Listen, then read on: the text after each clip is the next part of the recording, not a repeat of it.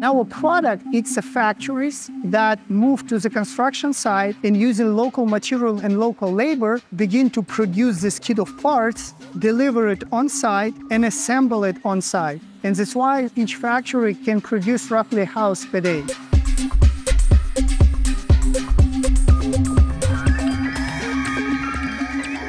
I have a physicist background. I'm, I'm an engineer. I spend all my life just to take the hardware deep tech startups and help them to grow from idea to mass production. And that's why I begin to do the biggest project in my life in Cuby. Right now, one of the main problem in the construction globally is that there is no skilled labor plus the cost of the construction is so high now that people can afford even low quality building now. In the US, 70% of the cost of one square foot is a labor plus subcontractors. 30% it's materials.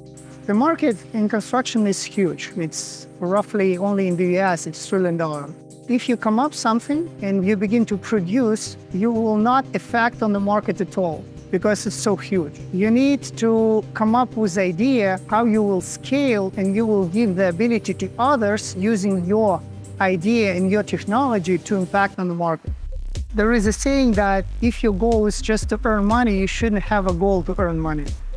if you have a goal to build a lot of houses, you shouldn't have a goal to build the houses. You should have a goal to build the factories that will build the houses. Our principle is the same as in automotive industry. The car manufacturer produces all of the process of assembling the car this consists of already pre-produced kit of parts. We use panelized system just to produce kit of parts and with this kit of parts assemble the building. But to produce this kit of parts, there is no exist on the market machines that you can take, that you can buy and begin to produce. That's why we should design and to produce also these machines that will produce kit of parts that will assemble the building. This is roughly, you know, what we're doing. Welcome to our R&D center. Here I will show you all the magic with mechanical, electronical, and software stuff that is doing there. Here you can see that mechanical engineering is sitting there. They're doing all of this magic with, uh, with the 3D model, with the software, and we are producing the machines and designing machines and producing kit of parts here and so on. This is uh, technological guys who is doing the software for the CNC machines. Here it's R&D center, and here we produce all the machines for our factories. We have different type of bending system, welding system, cutting system, because the Cuby itself, it's like a mix between Starbucks and, and IKEA. With the Starbucks like a processes and with IKEA with a kit of parts that you can assemble the building. But to produce it, we need to produce and to design our own machines because it's not exist in the market. And here we designed it to produce these machines. We are using this inflated building. It's also part of our, of our technology. We rent a parking lot. You can see that it's a parking lot with the cupola here, put all the machines there. The engineering is sitting just next to the manufacturing and we need it because when you come up something, you 100% you will make a lot of mistakes. And uh, as fast as possible, you need to check that you did this mistake. That's why when the engineers come up something, we need to produce it and do another iteration. Well, I want to show you our technology. We call it V1 for the single family one or two stories building. And using this kit of parts, we can build different shape and different height of the building. And the factory produce everything, starting from foundation and interior, exterior finishes, everything without any subcontractors. It's a big window, high ceiling. This is one of the material we call it aluminum composite. We use them just to cover the wall in the in, in, in toilets instead of tiles, and uh, you can clean it very, very easy. We have roughly more than 20 patent solutions, and one of them, for example, this is exterior facade. This is a magnetic facade that you can change yourself without help of professionals. Now, let's go and show you V2 technology for the multi-stories building. The difference between them is that we use the concrete in a multi-stories building. Let's come in. This is my dog. This is how the, the technology internally is look like.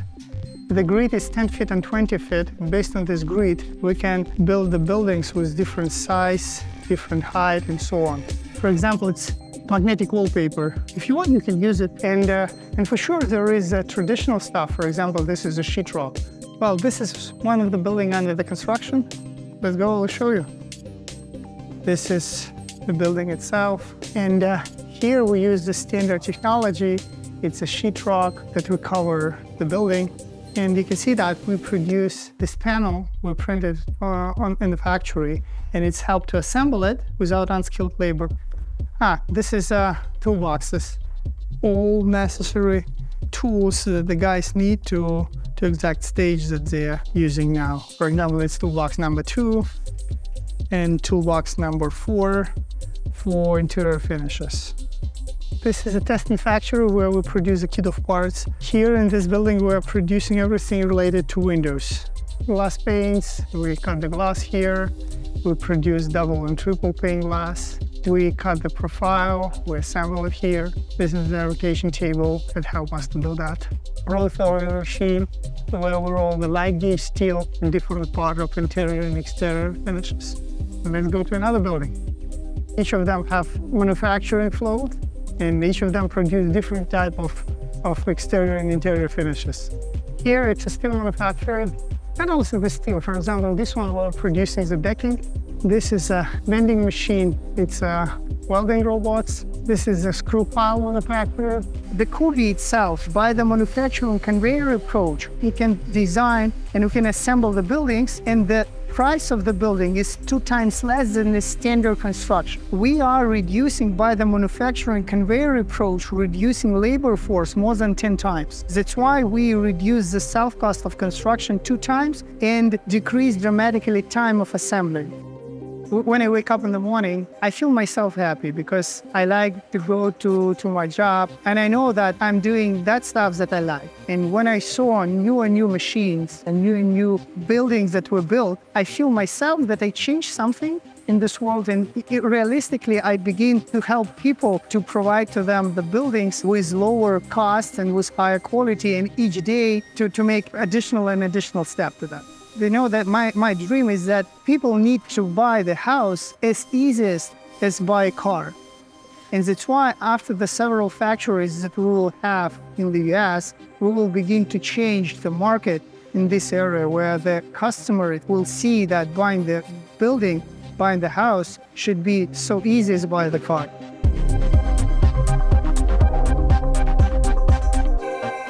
This episode was the first of a few things Firstly, it was the first ever international non US based episode. Secondly, this was the first ever remote shot episode, which is super cool. Alex, the other co founder of Cuby, who will be in a future episode, hired a camera crew to film remotely. I woke up at 4:30 and Google Meeted into a wireless uh, feed on the camera and directed the episode over Google Meet across the other side of the earth. You could see sometimes that Ali has an AirPod in his ear, and but that's because he's talking to me and I'm asking him questions and, and giving a bit of direction. That alone is like a pretty cool testament to how amazing technology is, I think. Cuby is amazing because of how quickly they've moved with pretty small amount of capital. When you have a big problem like housing and you have a ton of different people and companies trying to solve it, it's cool to see different takes on the same problem. Then you have Cuby, which is actually trying to take the factory itself and create kind of a stripped down mobile mini factory, as they call it, put it near the job site, and build within a, a radius of that factory. I think a lot of times you think factory and you think, well, you can't just make factories and pop them all everywhere, which, well, kind of can. It's very hard. There are other companies doing this, but it's super inspiring to see because it's a very first principle, fundamental approach. Like, okay, the problem is the manufacturing production. What if we move it to where we're trying to build the houses? So thank you to Alex and Ali for wanting to do S3 so much that you're willing to hire a camera crew and work with me to film and do this remote. So cool. I mean, using technology to enable the storytelling of technology man, YouTube has really been starting to take off. It's really cool to see. Uh, we're getting a ton of subscribers, and the algorithm is clearly picking us up, which is awesome. So if you're new here, uh, hi, thanks for watching. I make mini documentaries on startups trying to change the world every single week. As always, thank you for watching, and until next week, keep on building the future.